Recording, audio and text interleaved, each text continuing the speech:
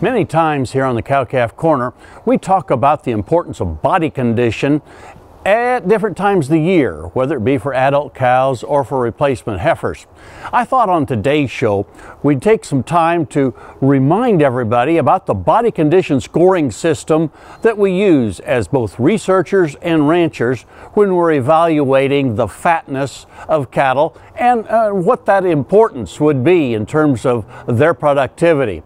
We use a 1 through 9 body condition scoring system, and it's uh, meant to cover all of the biological possibilities of beef cattle that you might see out here on, on ranches, with 1 being the most emaciated, thin animal that you can ever imagine, down to 9 being a, a very, very obese cow.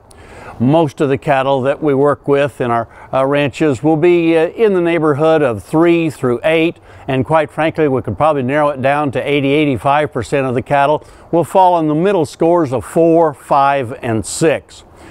I think that's the three scores we really want to zero in on. If we can determine what a four is, what a five is, and what a six uh, body condition score cow is, then we can tell uh, pretty much what changes we need to make and what kind of production to expect out of those cattle.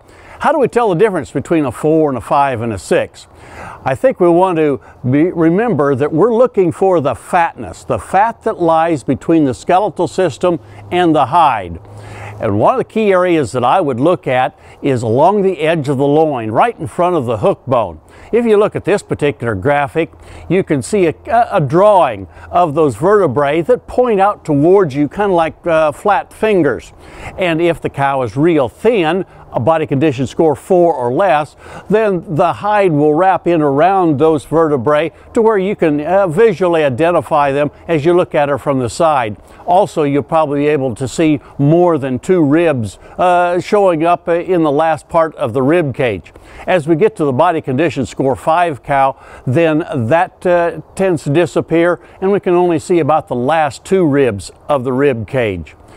Let's look now at some examples. Here's a body condition score 4 cow. A picture taken in the winter time where she has a, a pretty uh, heavy winter hair coat. And that reminds us that we have to be able to uh, identify these different scores even when these cattle have substantial hair to look through. The next picture shows a body condition score 5 cow. Now, as we would look along the edge of the loin and the rib cage, it's smoother. And uh, if she had a summer hair coat, we might be able to see the outline of the last couple of ribs. As we go to the body condition score 6, this two-year-old heifer looks bloomy to us. She's smooth. There's certainly no evidence of those vertebrae pointing out towards us along the edge of the loin, and the rib cage is completely covered.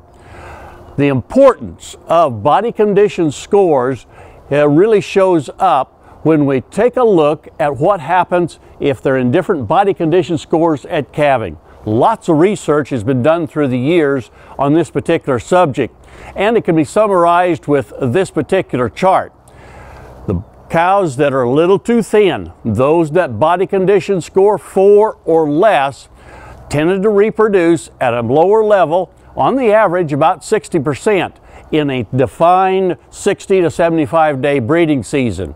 Cows that were in a body condition score 5 did better.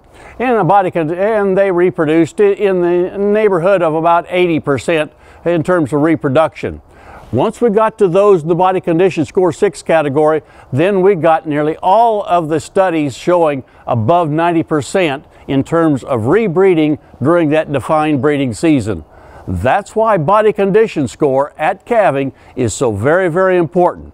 I thought it would be worth our time to take a look at what the different body condition scores are and what it means. So as we talk about it on future cow-calf corners, you'll have a better idea of what these mean. And when you go out and look at your cattle this winter, you may need to make some adjustments to make sure that most of these adult cows are in a body condition score of at least a 5, approaching a 6, to get the best rebreeding performance that you can expect for those cows and a good calf crop the following year. Hey, we look forward to visiting with you again next week on Sunup's Cow Calf Corner.